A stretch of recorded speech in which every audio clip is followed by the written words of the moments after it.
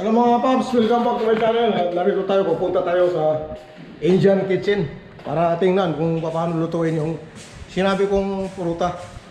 Kasi parang nahuli ako eh. Eh, hahabulin ko kung umaabutan ko pa, mga kaibigan. So, tingnan natin ngayon.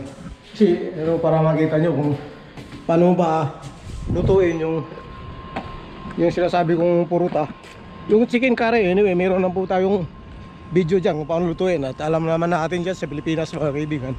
Paano lutuin yung chicken curry. Yun po kasi ang pinakaulam dito sa puruta. Itong puruta, makikita nyo ngayon mga kaibigan kung paano siya lulutuin. So, tingnan natin. Ito na yun.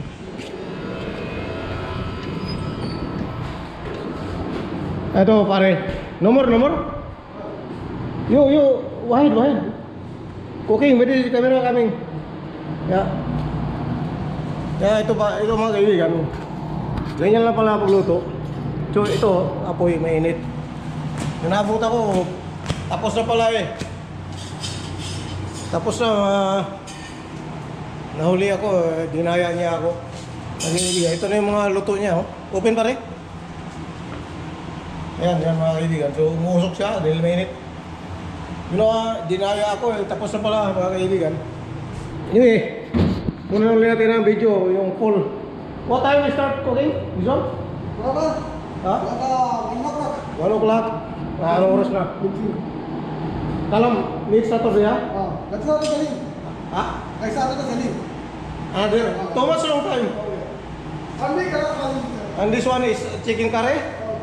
Chicken curry, this one? This one, chicken curry mga kaibigan. Eh, hindi na bago sa atin yan. Ito po yung pinakaulam. Ito, ito yung pruta na sinasabi ko mga kaibigan. Nahuli na tayo. Sinabi ko na sa kanya.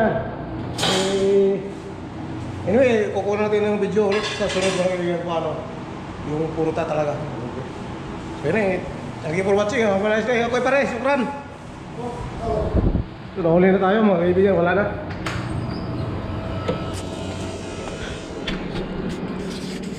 Abangan nyo sa sunod uh, mga paps yung kukuha ko siya ng video ng buo. Para makita nyo yung sasabing puruta. Sayang eh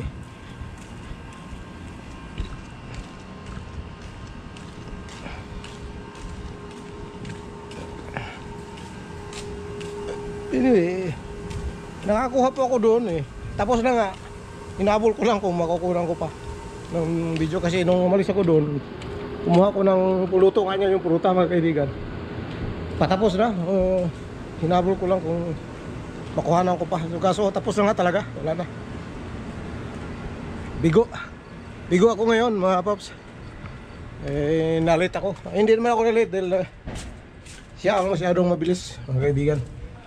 Yun, abangan nyo yung full version dun sa Puruta, mga kaibigan. Oo, tapos na. Tapos na.